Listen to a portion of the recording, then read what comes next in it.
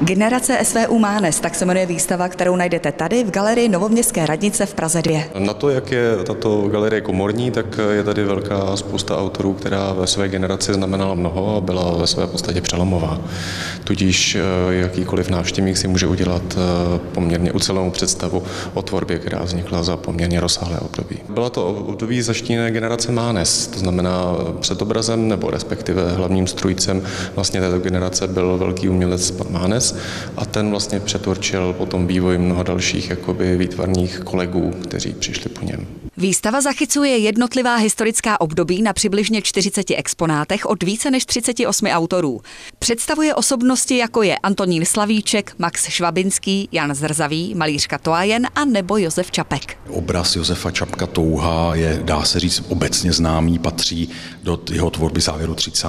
let, kdy byla, bylo Československo vlastně v ohrožení a Čapek velmi poeticky, ale velmi důrazně a vlastně docela, docela tak sexy dramaticky reagoval na tu situaci eh, cykly Oheň, Touha a i tady ta, eh, ten krásný obraz eh, figury v krajině představuje vlastně vrchol Čapkový tvorby. Výstava v galerii Novoměstské radnice je k vidění každý den, kromě pondělí, a to až do 30.